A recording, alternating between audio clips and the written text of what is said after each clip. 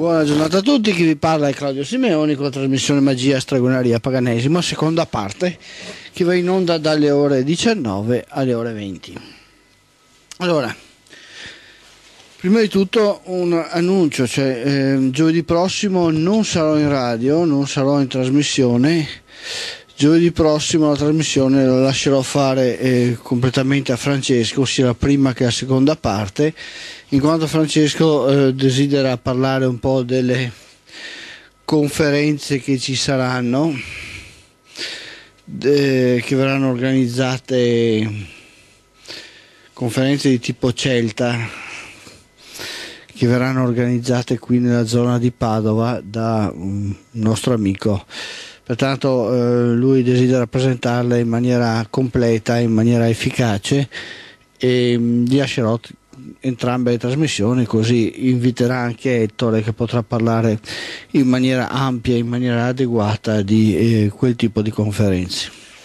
Naturalmente è sempre bene che ci siano eh, delle persone che si diano da fare, che cercano di sviluppare comunque il pensiero pagano, perché in ogni caso il pensiero pagano sia pur nelle sue numerose sfaccettature con cui si presenta nella vita delle persone, eh, chiaramente ha una ricchezza di presentazioni che più riusciamo, più riusciamo a presentare, più riusciamo a far circolare e chiaramente meglio è, meglio è per tutti e meglio è anche per l'intero movimento pagano.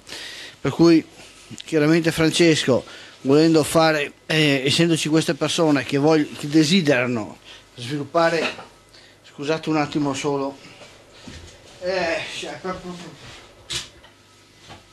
ci sono queste persone che desiderano sviluppare questi temi e questi argomenti, è bene dare anche lo, a loro lo spazio insomma, per riuscire a, a, diffondere quello che è le varie sfaccettature del paganesimo che si presentano in territorio nazionale.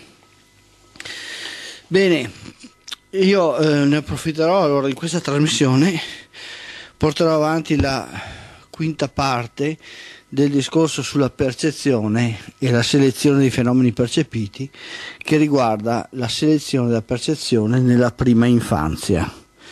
Di questo eh, vi parlerò eh, questa sera perché è importantissimo che noi riusciamo a comprendere come ciò che noi percepiamo del mondo in realtà è stato selezionato, è stato selezionato attraverso un lungo processo di adattamento soggettivo a quanto dal mondo ci veniva presentato. Bene, vi ricordo che questi pezzi che vi ho fatto sulla selezione della percezione li trovate tutti in internet, perché sono stati tutti caricati in internet. E è stato caricato in internet anche un altro pezzo di cui io vi ho accennato nella nella trasmissione, nella trasmissione della volta scorsa a proposito dell'uso dell'angoscia, cioè vi ho chiesto di ascoltare il testo di Nera Notte mettendovi in una situazione psichica angosciosa e da quella situazione psichica angosciosa ascoltare il testo di Nera Notte.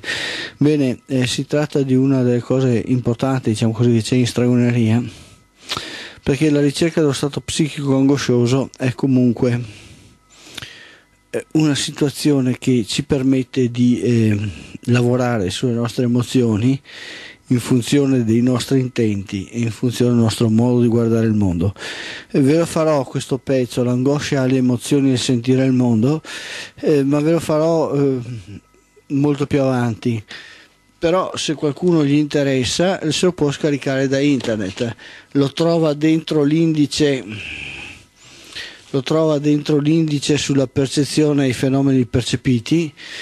Ehm, è un indice che tratta di tutti i temi sulla percezione che abbiamo eh, trattato, c'è l'introduzione del concetto di formazione della percezione, la madre come mondo, la fondazione della percezione nell'età fetale, selezione soggettiva della percezione, quello che vi farò questa sera, selezione della percezione nella prima infanzia, è stato caricato il discorso sull'angoscia ed è stato caricato anche quello che diventerà l'indice dell'empatia e percezione extrasensoriale perché nella percezione extrasensoriale eh, sono coinvolti circa, mi sembra, 9 o 10 elementi, 9 o 10 elementi, cioè in pratica 9 esattamente. Quando noi parliamo di percezione extrasensoriale o percezione diversa, in realtà mettiamo in moto tutta una serie di elementi, tutta una serie di cose che stanno dentro di noi. Ebbene, nel lavoro sulla percezione io ho raccolto quelle che sono le varie informazioni scientifiche, le ipotesi di lavoro scientifico eh, che prendono atto sia dell'esistenza di tutta una serie di percezioni diverse da quelle che, so, che è la normale percezione della ragione, sia eh, tutta una serie di eh, ricerche, risultati di ricerca che dimostrano come non solo la percezione extrasensoriale sia una realtà, ma che dimostrano anche come la percezione extrasensoriale si manifesti. Chiaramente eh, non sono in grado di ehm, parlare di tutta la percezione extrasensoriale, però sono convinto che quando ho messo in luce il meccanismo di nove elementi, eh, nove elementi singoli che sono in grado di manifestare la percezione extrasensoriale dell'individuo, cioè che la giustificano, che giustificano il fatto che l'individuo coglie elementi diversi dal mondo che ci circonda, eh, praticamente eh, ho giustificato l'intera capacità dei soggetti di percepire cose diverse da quelle che sono descritte della, dalla ragione. E in realtà tutto il lavoro eh, sulla percezione che sto facendo ha eh, questo scopo, cioè ha lo scopo di eh, capire che la percezione non è una cosa creata di immagine e somiglianza da un dio pazzo cretino e deficiente, ma viene costruita dal soggetto in base alle relazioni che il soggetto vive col mondo eh, che lo circonda.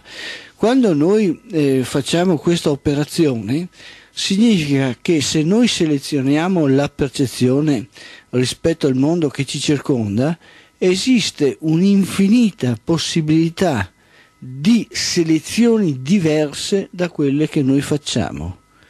Pertanto basta semplicemente che noi abbiamo la fortuna o la sfortuna di adattare la nostra percezione ad elementi leggermente diversi da quelli che normalmente vengono, eh, vengono distribuiti ai neonati, ai feti, ai fanciulli, e già abbiamo la fissazione di elementi diversi del mondo, la costruzione di idee diverse del mondo, l'intuizione di cose diverse del mondo e tutta una serie di cose che tutto sommato alla fin fine sono quelle che rendono diverse le persone una dall'altra. Cioè vediamo le diversità, i diversi tipi di adattamento che le persone incontrano nella loro esistenza. La lezione di questa sera è la selezione della percezione nella prima infanzia. E vi ricordo che anche se io raccolgo de, eh, tutta una serie di articoli scientifici che eh, vanno a dimostrare come il soggetto, come l'individuo si costruisca giorno per giorno nella vita, il mio scopo di questo non è il fatto di, eh, di questo lavoro, non è il fatto di avere ragione, ma è il fatto che stabilito che questo è il processo di sviluppo, di trasformazione dell'uomo, noi dobbiamo chiederci quali sono i nostri atteggiamenti per favorire la crescita dell'uomo, cioè per favorire la crescita del ragazzo, per favorire la crescita della ragazza, per riuscire a trasmettere al ragazzo qual è la realtà del mondo in cui lui si trova, troverà a vivere e fornirgli i migliori strumenti per affrontarli al meglio troppo spesso noi pensiamo, le persone vengono educate a pensare che l'essere umano è creato di immagine e somiglianza di Dio pazzo e cretino, non curano quella che è la crescita del ragazzo, non presentano ai bambini le loro mancanze, i loro sforzi, eh, le loro fatiche nell'affrontare la vita e non presentando questo il ragazzo cresce come una sorta di onnipotenza che dopo sarà preda della Chiesa Cattolica oppure sarà preda anche dell'Opus Dei, se ci sarà tempo vi leggerò qualche pagina che effettiv- effettivamente metteranno in atto delle strategie di manipolazione mentale delle persone, perché vi ricordo che le manipolazioni mentali delle persone sono possibili soltanto su ragazzi indifesi all'interno di strutture chiuse gabbie, che siano gabbie emozionali, gabbie mentali oppure gabbie fisiche come quelle costruite dalla Chiesa Cattolica. Non è possibile che ci sia una manipolazione mentale in una società aperta o non so dove la quantità di fenomeni che giungono all'individuo è molto ampia e molto vasta. Bene. Affrontiamo allora la selezione della percezione nella prima infanzia. Dal giornale La Repubblica dell'aprile del 2006 leggiamo lo studio. I neonati prematuri sentono il dolore come gli altri. Londra. I neonati prematuri sentono dolore. Uno studio ha infatti dimostrato che purtroppo non sono affatto al riparo da sofferenze, come si credeva, quando sottoposti alle tante pratiche mediche necessarie nelle terapie intensive neonatali per aiutarli a crescere. Lo hanno verificato per la prima volta i ricercatori della University College di Londra, che hanno misurato risposte di dolore nel cervello di questi neonati e non, come si pensava, semplici reazioni riflesse. Lo studio è riportato su The Journal of Neuroscience. Questo concetto di dolore, se ve lo ricordate, lo abbiamo trattato esattamente nel primo, nella prima lezione che abbiamo eh, tenuto rispetto alla formazione della percezione. Si trattava eh, dunque si trattava del vediamo un attimino di trovarla. 512 mi sembra. E trattava esattamente che miseria. Vediamo un attimino No, eh, era quella dopo del um, 12-12 e trattava la madre come mondo, la fondazione della percezione nell'età fetale e iniziava il dolore come stimolo. La psicologia definisce il dolore come sensazione di sofferenza che si presenta come risposta soggettiva ad uno stimolo avvertito dall'organismo come nocivo o comunque riduttivo del suo benessere. Dal punto di vista psicologico il dolore è una delle tonalità emotive fondamentali che accompagnano accompagnano l'esistenza. Questo lo dicemmo il 12-12 all'interno della madre come mondo, la fondazione della percezione nell'età fetale. Ebbene, riuscire a comprendere che il neonato appena nato sente dolore rispetto alle pratiche di terapia intensiva che gli vengono praticate, significa comprendere che già in quel momento ci sono delle operazioni strategiche da parte del neonato di adattamento soggettivo a quanto percepisce nel mondo. La selezione della percezione che è avvenuta in pancia della madre, ora il nuovo nato, la deve misurare col mondo esterno. Ed è a questo punto che inseriamo la definizione di percezione psicofisica come definita dal dizionario di psicologia. Si cerca di stabilire il rapporto esistente fra uno stimolo definito come fenomeno fisico di intensità misurabile e la risposta che ne consegue data una sensazione di determinata intensità. In questo campo si sono definite le soglie inferiori assolute date dall'intensità minima di un segnale fisico che scatena una risposta del soggetto. Le soglie superiori assolute al di là delle quali non esiste più una sensazione specifica, le soglie differenziali che stabiliscono quale modificazione in più o in meno un segnale deve subire perché un soggetto lo percepisca come diverso, la costruzione di scale psicofisiche per la misurazione delle soglie regolate dalla legge di Fechner per la quale l'intensità di una sensazione soggettiva è proporzionale al logaritmo dell'eccitazione fisico. Questa legge, valida per il rapporto fra eccitatore fisico e reazione fisiologica del ricettore, trova un riscontro approssimativo per quanto concerne il rapporto fra l'intensità dell'eccitatore fisico e la sensazione psicologica e soggettiva che ne consegue. Cosa vuol dire tutto questo discorso? Che esiste una banda di dolore dove nella soglia minima, cioè la parte minima di questa banda, è il dolore minimo, cioè la sollecitazione minima alla quale l'individuo reagisce. Dopodiché esiste una soglia di dolore talmente grossa, talmente grande, dove non esiste più nessuna reazione, cioè l'individuo soggiace al dolore mh, scattano alcuni meccanismi del cervello per cui non esiste più neanche reazione al dolore. Ebbene, questa banda eh, stabilisce tutta una serie di, eh, di, livelli di risposta soggettiva al dolore che si subisce. Mm, sono degli studi di psicologia che stabiliscono le risposte. Chiaramente tutto ciò che ci proviene dal mondo lo possiamo considerare anche all'interno di una banda di dolore, dove cose assolutamente indolor- indolori eh, ci portano all'indifferenza rispetto a esse, per cui non reagiamo.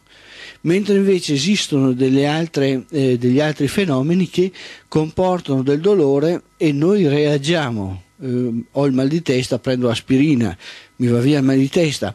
Esiste un dolore talmente grosso eh, al quale non si reagisce più, tipo sei assalito da tre orsi bruni che stanno, ti stanno sbranando quel momento cala eh, prepotente quello che è l'anestetico eh, completo e viene fermato qualsiasi reazione al dolore, viene sbranato.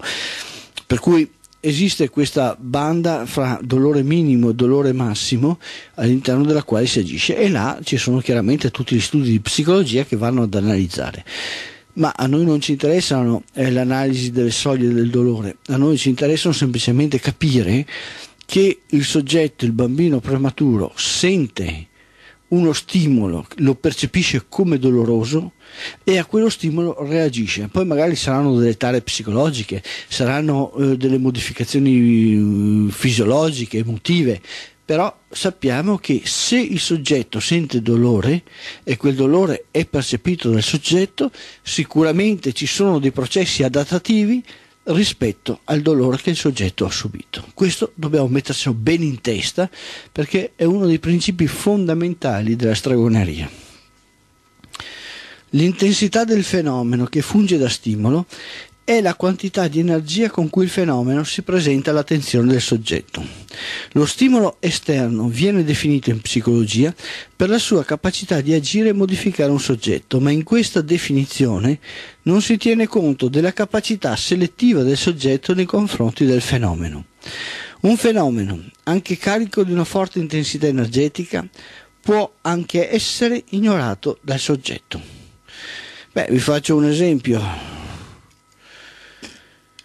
eh, è successa un'inondazione in Indonesia, ha comportato 200 morti, alla maggior parte delle persone non gliene frega assolutamente niente, altre persone invece sono disperate, cioè allo stesso fenomeno, la stessa informazione dà delle reazioni diverse all'interno dei soggetti. Un esempio è lo spaventapasseri in un campo. Il giorno prima spaventa gli uccelli, il secondo giorno gli uccelli lo accettano come parte dell'ambiente, il terzo giorno sono pronti a farvi il nido sopra. Se volete, l'allarme dell'aviaria. Il primo giorno titoli di telegiornali a tutta pagina. Secondo giorno strage di uccelli in mezzo mondo. Dopo quattro mesi, che è sta roba? Il bambino, fin dal primo giorno di nascita, si trova a dover fronteggiare una quantità fenomenologica immensa che lo travolge. Come si difende il bambino? Mediante il sonno. Il sonno del neonato è un modo per chiudere la propria percezione ai fenomeni del mondo, disgregare la propria coscienza e la propria attenzione e mettere ordine ai fenomeni che sono arrivati e che hanno modificato la struttura psicofisica durante la veglia. La veglia e il sonno del bambino corrispondono un po' al suo mangiare. Da sveglio assorbe fenomeni, dorme e digerisce quei fenomeni. Si sveglia, mangia fenomeni, dorme e li digerisce. In questo processo di digestione fra virgolette, il neonato ogni notte scompone la propria coscienza e la ricompone prendendo tutti i fenomeni che ha interiorizzato durante il giorno e quando ricompone la propria coscienza il mattino inizia a dare un ordine di importanza ai fenomeni. Quelli, quei fenomeni su cui deve puntare la propria attenzione e quei fenomeni che può ignorare. Quelli, quei fenomeni che si presentano in maniera da non poter essere ignorati e quei fenomeni che appartengono a un tale sconosciuto che ritiene non gli possano servire. Il processo di disgregazione e riformazione della coscienza permette al neonato di passare dalla percezione funzionale all'età fetale ad una percezione funzionale al nuovo mondo. Il mondo si allontana dalla sua percezione. Il contatto materno con l'allattamento al seno rende meno doloroso questo distacco. Quello che fu il processo di selezione della percezione dei fenomeni che ha messo in atto nella pancia della madre viene sviluppato e riadattato ulteriormente nei primissimi giorni di vita. Cosa caratterizzava il feto nella pancia della madre? La percezione empatica psicoemotiva del proprio ambiente. Quali sono i fenomeni che entreranno maggiormente nella formazione della sua conoscenza?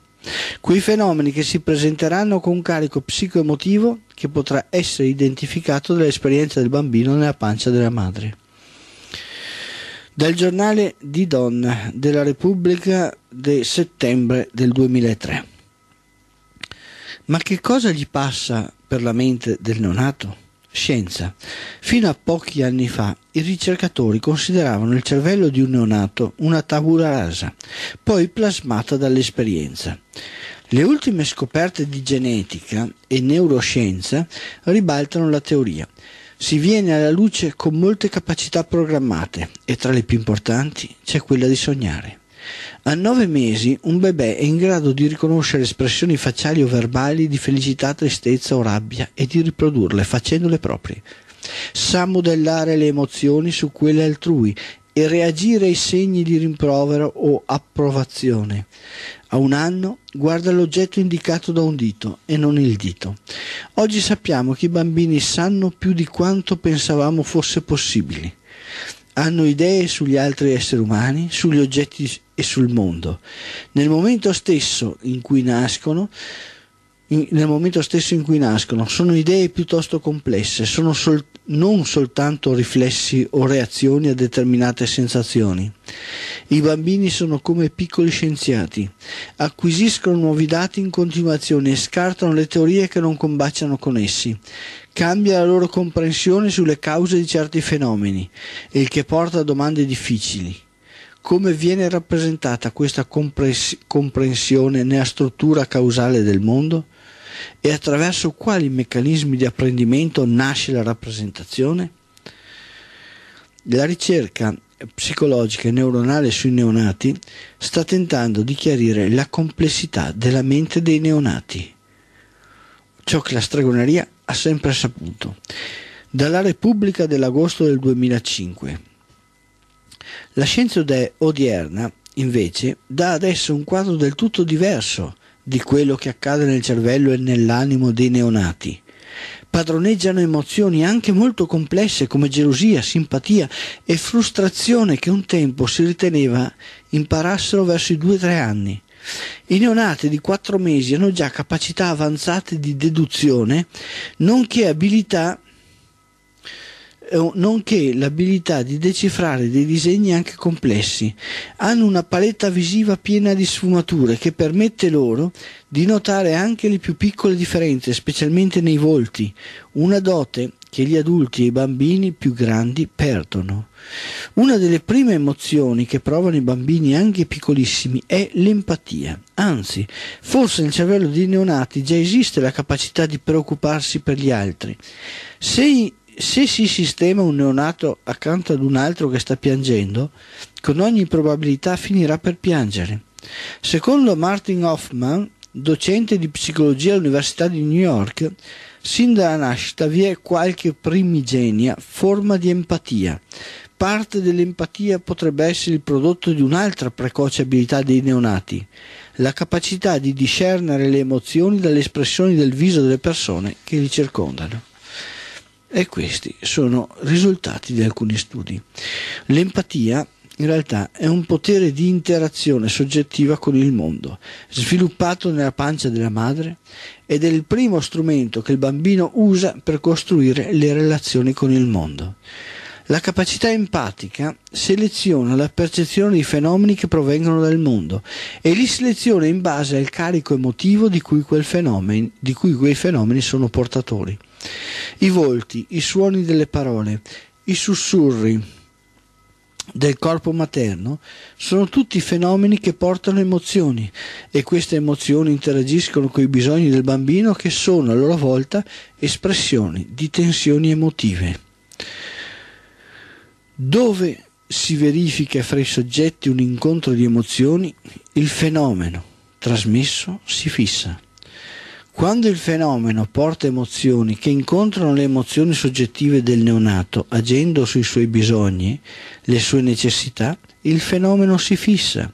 Si fissa prima per l'incontro emotivo e poi il neonato ne identifica la forma capace di agire sui suoi bisogni emotivi. Crescendo poi il bambino identifica l'aspetto razionale e la forma di cui il fenomeno è manifestazione. Il fenomeno come forma entra nella percezione del neonato in un secondo tempo. Prima il fenomeno viene percepito attraverso la capacità empatica del neonato, con cui interagisce con il mondo psicoemotivo che lo circonda. Inizialmente c'è il tentativo soggettivo da parte del bambino di ricercare, una volta nato, la riproduzione nel nuovo mondo dell'utero materno. Nel nuovo mondo il neonato cerca ciò che già conosce e fissa l'attenzione su ciò che lo rimanda a sensazioni che ha già vissuto. I neonati scorgono le emozioni espresse dall'espressione del viso delle persone. Le espressioni vengono associate alle sensazioni che hanno provato nell'utero, in quanto le espressioni del viso sono portatrici di emozioni di chi li guarda. A mano a mano che i neonati crescono, l'espressione del viso assume un significato a sé separato dall'emozione che comunica. È in atto un processo di separazione del bambino dalla primitiva forma di interazione fra sé e il mondo forgiata nell'utero e i sensi stanno prendendo il sopravvento nel mediare le relazioni dell'apparato emotivo con il mondo. La percezione del neonato viene educata a selezionare i fenomeni del mondo. Questi esistono solo se sono portatori di un carico emotivo ed interagiscono con i bisogni del neonato che attraverso essi espone al mondo le sue emozioni. In questa fase il neonato seleziona l'effetto finale, o a cui corrisponde mediante l'azione prima e mediante la descrizione poi, del fenomeno che percepisce. Data una percezione di fenomeni che generano nel neonato delle necessità e dei bisogni, tale percezione viene riassunta nell'elemento più semplice che, una volta manifestato, garantisce la soddisfazione della necessità e del bisogno. Se nella pancia della madre l'immenso per il feto era la madre stessa, ora l'immenso è uno sconfinato che percepisce attraverso un distacco che i suoi sensi e le sue percezioni devono comprendere. La fondazione della percezione del neonato è una mediazione funzionale fra ciò che è stato, crescendo nella pancia della madre, e ciò che gli viene trasmesso, nel modo in cui gli viene trasmesso dal mondo in cui nasce e per quello che il mondo in cui nasce gli presenta. Le recenti ricerche neurologiche hanno messo in luce come i sensi non siano solo cinque, ma i neurologi, seguendo le connessioni nervose e i collegamenti neuronali, hanno scomposto i sensi una serie di sottosensi che ricomponendosi fra di loro attraverso un infinito numero di variabili dimostrano come le possibili percezioni del mondo di un soggetto siano pressoché illimitate e questo senza tener conto dell'elaborazione che il soggetto ne fa di quanto percepisce. Allora proviamo un attimino adesso a capire come la scienza moderna sta imparando che sia la capacità sensoria di percezione degli individui.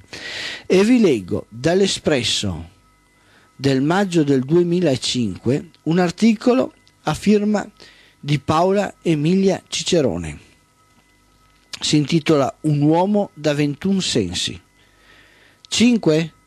I neurologi scommettono, sono molto di più Ecco perché, seguendo gli stimoli che vanno dagli organi del cervello, che non ci si fermi a 5 è sicuro. Forse sono una ventina. C'è chi dice molti di più. perché l'antico schema di derivazione aristotelica che limita appunto a 5 il numero di sensi con cui esploriamo il mondo esterno, vista, udito, gusto, tatto, olfatto, è tramontato per sempre. Per molti scienziati il numero giusto è 21. Come ci si arriva?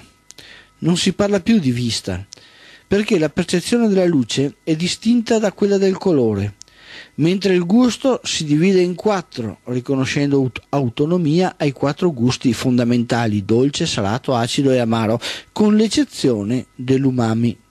Il gusto di glutammato tipico della cucina orientale, che è preso in considerazione solo da alcuni studi. Se, si, se il tatto resta un senso a sé, gli si affianca altri sensi collegati ma autonomi, come la percezione del dolore, del caldo e del freddo, portando così a 12 i cinque tradizionali sensi. Per arrivare a 12 basta aggiungere il senso dell'equilibrio. D'altronde non l'abbiamo sempre chiamato così. È la propriocezione che ci consente di valutare anche ad occhi chiusi, attraverso una serie di recettori posti nei muscoli e nelle articolazioni, la nostra posizione nello spazio e i nostri movimenti, anche se in questo caso si parla più specificatamente di cinestesia. E poi sensori interni che permettono al nostro organismo, anche se non ne siamo sempre coscienti, di monitorare parametri biologici come la pressione sanguigna, l'ossigeno presente nel sangue, l'acidità del liquido cerebrospinale e la presenza di aria nei polmoni, ma anche valori specifici relativi al contenuto di glucosio nel sangue e alla pressione osmotica del plasma che siamo abituati a, percep- a percepire più banalmente come fame e sete. Complicato? Neanche troppo. Se si pensa che i ricercatori più radicali arrivano ad elencare una trentina di sensi, dando autonomia alla percezione di alcuni colori, come rosso, blu e verde, e distinguendo fra le diverse modalità tattili e i diversi tipi di movimento. E c'è anche chi sostiene che ciascun tipo di recettore olfattivo, ce ne sono circa 2000, dia origine ad un senso a sé. Persino il sesto senso, per anni una fola da creduloni, è stato riabilitato secondo uno studio realizzato dalla Washington University di St. Louis e pubblicato su Science. L'elaborazione inconscia di informazioni che ci aiuta a prendere decisioni apparentemente immotivate ma corrette attiverebbe una specifica area del cervello, la corteccia cingolata anteriore. Oggi gli specialisti non studiano i singoli sensi, ma le loro articolazioni partendo dalla natura chimica, meccanica e luminosa dello stimolo o dai ricettori cerebrali interessati. La base è comune, è sempre un'area cerebrale ben precisa, il talamo, che riceve tutte le informazioni dai ricettori e le trasmette alla corteccia cerebrale primaria e, qui, e da qui alla corteccia secondaria. Spiega Raffaella Ruminati, responsabile del Dipartimento di Neuroscienze Cognitive della SISSA, Scuola Internazionale di Studi Superiori Avanzati, di Trieste, è qui che il percorso si articola in aree specializzate, scusate un attimo, si articola in aree specializzate in cui diverse popolazioni di neuroni si occupano di aspetti diversi. E questo è l'articolo. E questo per parlare di come un, oggetto, un soggetto percepisce il mondo. Poi quando andiamo ad affermare quanto un soggetto deve selezionare del mondo e agire in esso, scopriamo che da Di Donna, la Repubblica del maggio del 2005, ci viene detto neuroscienze, nuove ricerche indagano sul ruolo dell'inconscio nelle decisioni di ogni giorno. Dallo shopping al partner giusto, nelle nostre scelte c'è molto di più di quanto pensiamo. Secondo i neuroscienziati siamo consapevoli solo del 5% della nostra attività cognitiva ed è per questo che la maggior parte delle nostre decisioni, emozioni e azioni dipende per il 95% dalla corteccia cerebrale che va al di là della nostra coscienza. Pertanto, se voi prendete soltanto i risultati di questi eh, due articoli capirete bene che la capacità di percepire il mondo mediante i sensi che noi abbiamo è estremamente variegata. E quanto, quando questo, eh, questo variegamento, cioè questa diversificazione, si combina anche in maniera diversa, voi capite che solo la meccanica della percezione del mondo è infinitamente più complessa di quanto si era abituati a conoscere. Se poi a questo ci mettete le scelte soggettive di percezione del mondo, voi capite perché le persone sono tutte diverse l'una dall'altra. Pertanto se volete convincere una persona è inutile che fate un miliardo di discorsi, non la convincete manco per niente, perché la sua capacità di selezione del mondo, la sua capacità di percezione delle cose va a presentare tutta una serie di strutture psicoemotive completamente diverse da voi. Noi spesso, troppo spesso, non abbiamo il controllo razionale di quello che facciamo, obbediamo a stimoli profondi che si presentano alla coscienza e guidano le nostre decisioni. Mentre percepiamo e giudichiamo il mondo seguendo stimoli di, di, di, di desiderio che abbiamo selezionato in anni dimenticati. Tutta questa operazione di selezione della percezione il bambino la fa nei primissimi mesi di vita, fin dal primo istante in cui esce dalla vagina di sua madre. La scienza neuronale e la psicologia stabiliscono collegamenti e connessioni sia fisiche che psichiche fra le azioni che facciamo e l'accensione di aree del cervello in cui avviene la decisione.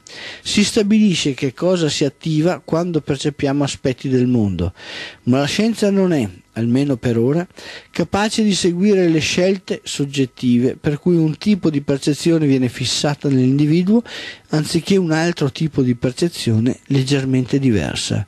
La scienza non è in grado di vedere i processi adattativi messi in atto dall'individuo nel corso degli anni e che l'individuo concretizza nelle sue idee sul mondo, nelle sue scelte, nelle sue decisioni, nelle sue predilezioni. Sta di fatto che si assiste a tutta una serie di scelte soggettive da parte del neonato, il cui scopo è fissare la propria attenzione su una gamma di fenomeni che entrano nella sua percezione e che poi vengono ulteriormente selezionati per costruire la sua coscienza. Un sistema educativo deve aver cura di rivolgere al neonato input, informazioni, fenomeni capaci di stimolare in maniera a lui ottimale lo sviluppo della propria percezione e l'uso opportuno della propria attenzione. Questa necessità è sempre stata la base della, ric- della, ricerca della moderna pedagogia, il cui scopo era teso ad assicurare alla, so- alle- alla società civile individui più coscienti, più ricchi di stimoli, più consapevoli, al fine di arricchire la società stessa. L'errore di tutti i sistemi pedagogici fu quello di considerare il bambino soggetto diverso, separato dall'adulto e dalla società. Un soggetto su cui agire per ottenere un risultato senza considerare che il soggetto ha una capacità personale di elaborazione. Così l'educatore pensa che facendo questa o quella cosa riesce ad ottenere un risultato. Se voi vi leggete alcuni libri di pedagogia, i libri di pedagogia vi danno sempre dei suggerimenti, vi dicono sempre come dovete comportarvi nei confronti del bambino per ottenere delle cose. Bene, se alcune cose sono sagge rispetto a delle demenzialità, mh, che magari erano usate nei sistemi educativi delle generazioni precedenti, in ogni caso voi non otterrete mai il risultato che volete a meno che non siate in grado di interagire dal punto di vista emotivo col bambino. Pertanto, qualunque cosa, buona o meno buona, qualunque atteggiamento voi assumiate, non riuscirete mai a raggiungere i vostri intenti a meno che non fondiate col bambino le vostre emozioni, lo rendete partecipe alle vostre emozioni. E questo nessun cristiano sarà mai in grado di farlo stuprare bambini per costringerli all'interno di comportamenti fissi, questo magari forse se c'è qualche minuto lo vedremo dopo. Invece il soggetto che riceve quell'azione o quella cosa sotto forma di fenomeno la inserisce, così l'educatore pensa che facendo questo o quella cosa riesce ad ottenere un risultato. Invece il soggetto che riceve quell'azione o quella cosa sotto forma di fenomeno, la inserisce in un insieme soggettivo che produce risposte diverse dalle attese. Il bambino diventa l'oggetto del discutere di ogni sistema pedagogico e questo fu l'errore e la base del fallimento di ogni sistema pedagogico. Non che non venisse di volta in volta migliorati degli aspetti dell'educazione del bambino, ma il risultato non soddisfaceva mai le premesse dalle quali la strategia pedagogica prendeva il via. Il motivo è semplice, non si può intervenire nella formazione della percezione del bambino agendo sul bambino stesso. Questo perché l'adulto non è più in grado di valutare la carica emotiva della sua azione nei confronti del bambino e il bambino darà una lettura soggettiva dell'azione dell'adulto partendo da categorie di valutazione che l'adulto ha dimenticato. Quando un adulto manda un segnale al bambino, si illude che il bambino interpreti il segnale con le sue stesse intenzioni e col suo stesso significato. Dalla Repubblica del marzo del 2003. Da bambini timidi ad adulti ansiosi. Tutta colpa di un malinteso. L'articolo è di Carlo Brambilla. Io però ho riprodotto solo il pezzo che mi interessa. Milano. Per i bambini più timidi, candidati ad essere adulti ansiosi, c'è una strana espressione negli occhi di chi li guarda, qualche cosa di indecifrabile nel volto, che fa eh, loro sbagliare giudizio sulle reali interpretazioni degli altri, scambiare uno stato d'animo per un altro e rende difficili, qualche volta impossibili, le normali relazioni umane, fatte anche di linguaggi non, ver- non verbali. È lì che si nasconde il segreto della timidezza in un malinteso, una difficoltà psicologica che ha un parzi- una parziale base genetica e neurofunzionale. Lo ha scoperto un gruppo di ricercatori dell'Università Vita Salute San Raffaele, coordinato dallo psicologo clinico Marco Battaglia, dopo un lavoro durato tre anni su un campione di 150 scolari italiani. Per molto tempo gli psicologi clinici hanno ipotizzato, che il mondo interiore delle persone afflitte da ansia sociale dipendesse da aspettative negate rispetto al giudizio degli altri.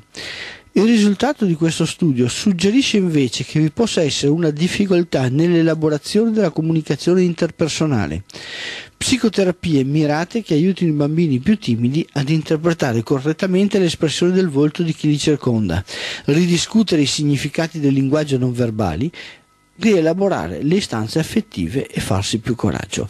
Di questo ne avevo già parlato in una trasmissione eh, tempo fa e eh, vi vi ho ricordato che eh, noi abbiamo una capacità di eh, manifestare le nostre emozioni, specialmente rispetto ai bambini piccoli, eh, attraverso gesti, attraverso eh, linguaggi corporei, attraverso anche ehm, tutta quella che è la carica emotiva che i nostri pensieri, le nostre parole, il nostro timbro di voce mh, mm, veicola verso il bambino, che abbiamo acquisito quando eravamo nella savana, quando eravamo in altre condizioni, quando vivevamo all'interno della, della natura.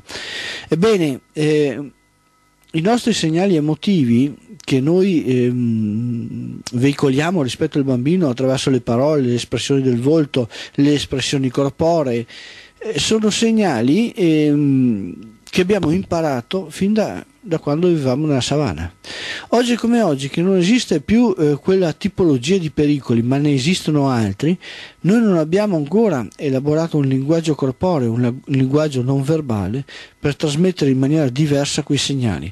Pertanto spesso ci rivolgiamo al bambino eh, con delle azioni, con dei gesti, con dei, um, dei timbri di voce, no? con un trasferimento emotivo che è assolutamente spropositato rispetto al messaggio verbale, al messaggio razionale che invece vogliamo veicolare. Pertanto, il bambino piccolissimo che non conosce il linguaggio verbale ha un linguaggio, percepisce un segnale emotivo e un segnale non verbale eh, atroce, fortissimo, mentre invece gli vogliamo dire ma perché hai spanto la pappa? E lui eh, invece percepisce come un segnale di morte. Ed è questo che eh, costruisce anche una dislessia, specialmente nell'adulto, fra ciò che vorrebbe trasmettere e ciò che invece trasmette. Andiamo avanti.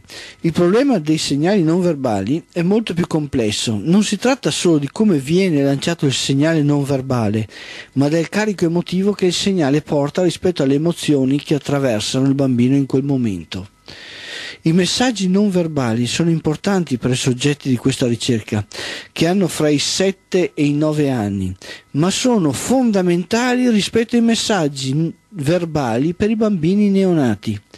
Le recenti scoperte hanno messo in luce come siamo, siano importanti quelli che vengono definiti neuroni specchio dalla Repubblica del dicembre del 2005. Scoperto il segreto delle emozioni, ecco il neurone specchio, così condividiamo i sentimenti. Il meccanismo della simulazione che scatta nel cervello della scimmia era det- determinato a un gruppo di cellule nervose cui viene assegnato il nome di neuroni specchio. All'inizio, prosegue Gallese, pensavamo che la loro attivazione dipendesse dall'osservazione di un movimento altrui. Poi, passando agli studi sull'uomo, abbiamo capito che il meccanismo riguardava anche le emozioni e le sensazioni tattili provate dagli altri. Ci basta percepire un sentimento su un volto o accorgersi che la mano di un altro viene sfiorata per simulare eh, per simulare una situazione corrispondente all'interno del nostro cervello. Sono i neuroni specchio che si attivano esattamente nelle stesse aree cerebrali di chi vive l'esperienza in prima persona. Questo meccanismo è comune a tutti gli individui, sia pure con un'intensità che varia da persona a persona.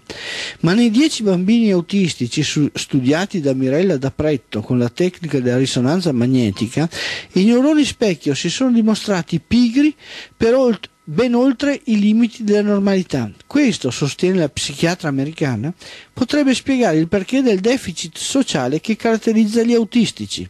I nostri risultati, insieme a quelli ottenuti in precedenza da altri ricercatori, ci portano a descrivere la malattia come un cattivo funzionamento dei neuroni specchio. Segnale esterno, comunicazione non verbale, assimilazione del segnale esterno, interpretazione soggettiva del segnale, risposta di adattamento al segnale esterno.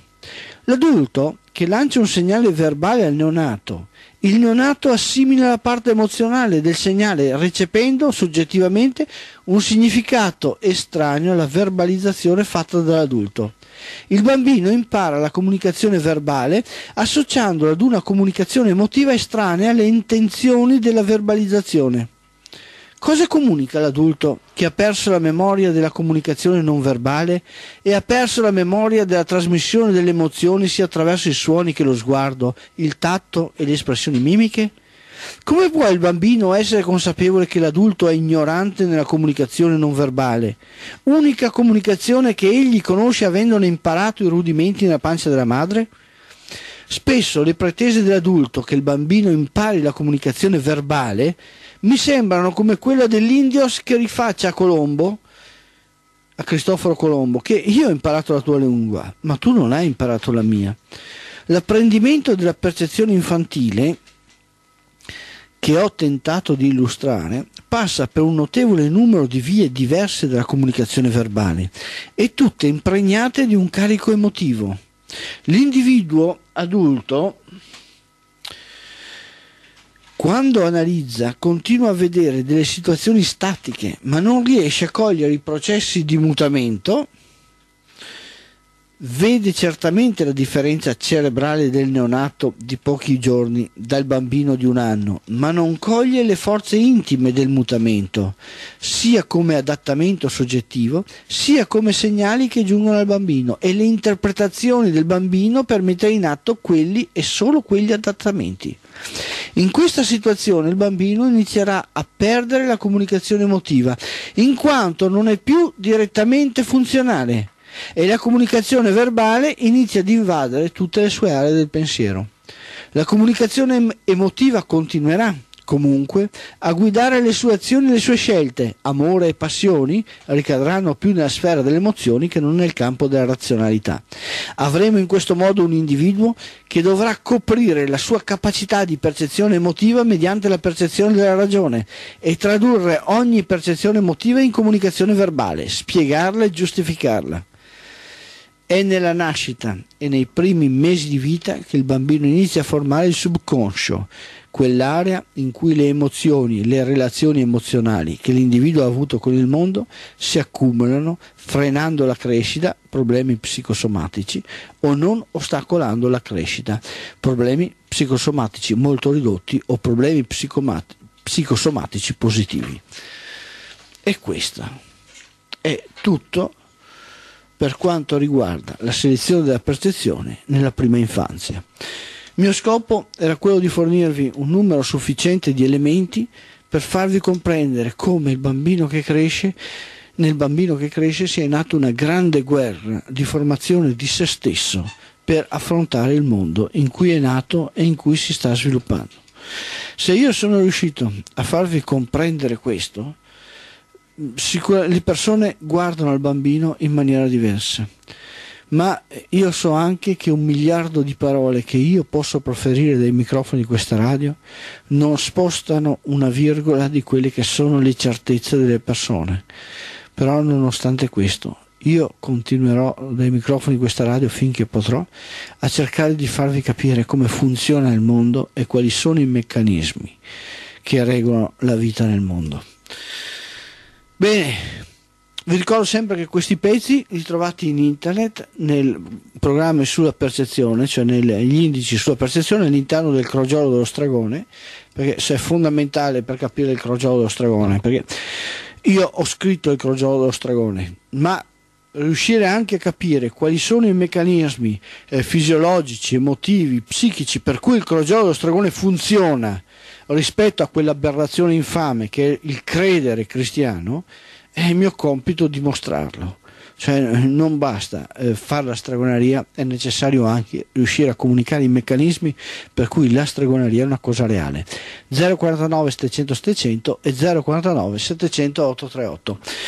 Questo è il... Pronto? Ciao. Ciao.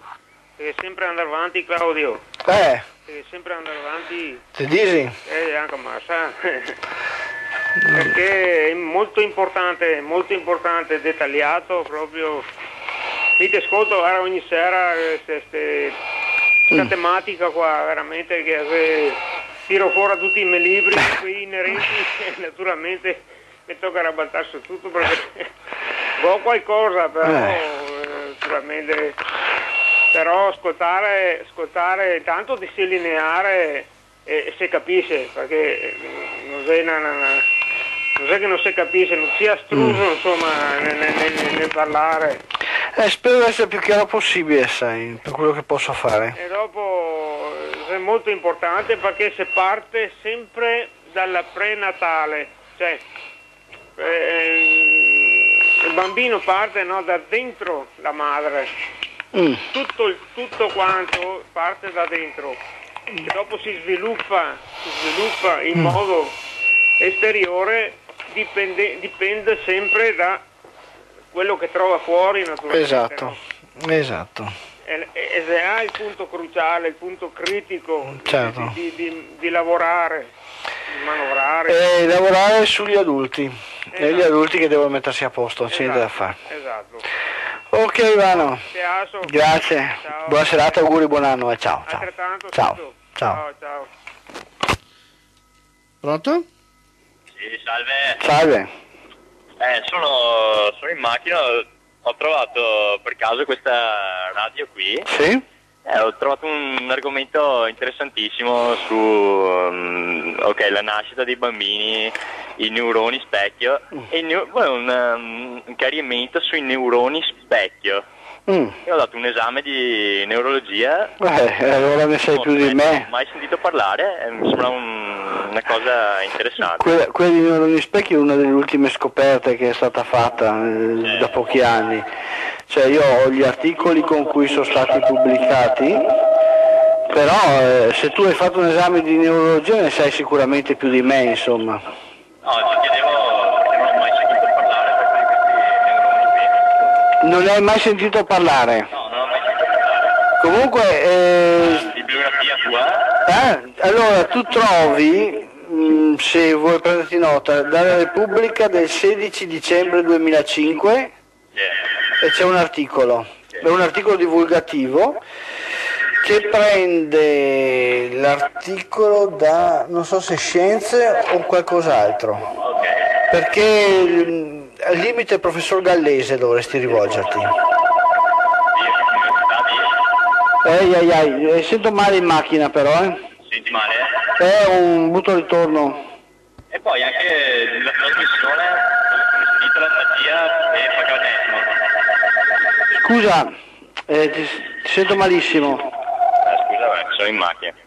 Sei di bene? Sì, adesso sento un po' E meglio. poi anche un'altra roba su- sul titolo della trasmissione. La trasmissione è Magia, Stregoneria e Paganesimo. E, Se usi internet, eh, c'è Usi anche internet.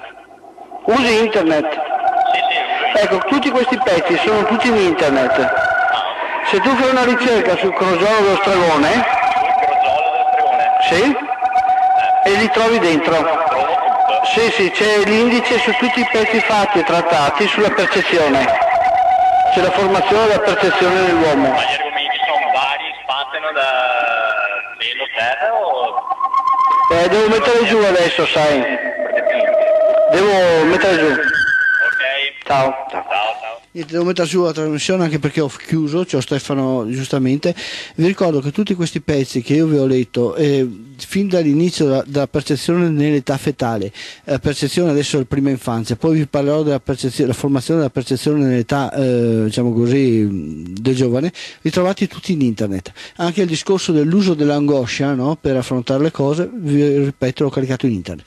Se volete andare più speditamente a trovare i pezzi, li trovate all'interno del crogiolo dello stregone in federazionepagana.it www.federazionepagana.it oppure crogiolo stregone in eh, Google e trovate i pezzi. Ciao a tutti, vi do appuntamento per eh, giovedì prossimo dove io non sarò in trasmissione, ci sarà Francesco che presenterà delle trasmissioni. Ciao ciao, vado immediatamente con il nostro presidente. Sì, buona giornata a tutti. Vi parla Paolo, il presidente di questa eh, cooperativa di Radio